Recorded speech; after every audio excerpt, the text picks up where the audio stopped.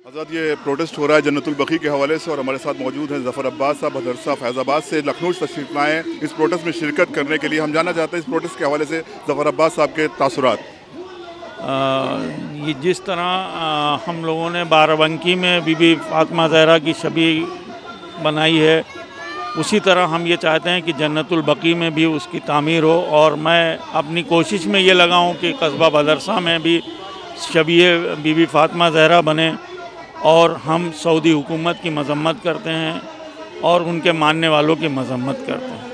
आप फैज़ाबाद से लखनऊ आए आपने यहाँ पर किस तरह से महसूस किया किस तरह का ये प्रोटेस्ट कितना कारगर साबित होगा? बहुत ही अच्छा साबित होगा और आने वाले वक्त में भी बहुत अच्छा साबित होगा।